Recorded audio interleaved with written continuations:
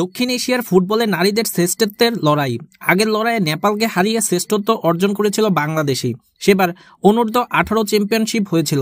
নাম বদলে এবার সেই টুর্নামেন্টে অনূর্ধ্ব উনিশ চ্যাম্পিয়নশিপ শিরোপা ধরে রাখার লড়াইয়ে শক্তিশালী ভারতকে হারিয়ে চ্যাম্পিয়ন এখন বাংলাদেশ। বুধবারের ফাইনালে ভারতকে এক শূন্য গোলে হারিয়ে চ্যাম্পিয়ন হয় বাংলাদেশ। খেলার আশি মিনিটে ম্যাচের একমাত্র জয়সূচক গোল করেছেন আনাই মুগিনি। বাংলাদেশে অসংখ্য আক্রমণ করে গোল পাচ্ছিল না। আশি মিনিটে আসে সেই মহেন্দ্র খন রিপা ব্যাকহিল পাস করেন। আনাই মুগিনি বক্সের বাইরে থেকে শট নেন। ভারতের গোলরক্ষক বলের ফ্লাইট বুঝতে পারেননি। তিনি বল হাতে লাগলেও গোল লাইন অতিক্রম করে করা থেকে বিরত রাখতে পারেননি। গোল লাইন অতিক্রম করার সঙ্গে সঙ্গে নেচে ওঠে কমলাপুর স্টেডিয়াম।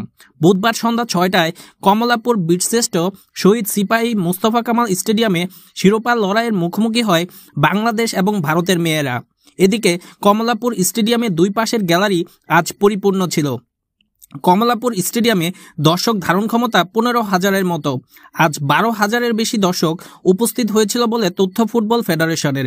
বেসরকারি টেলিভিশনটি স্পোর্টস সরাসরি সম্প্রচার করেছে।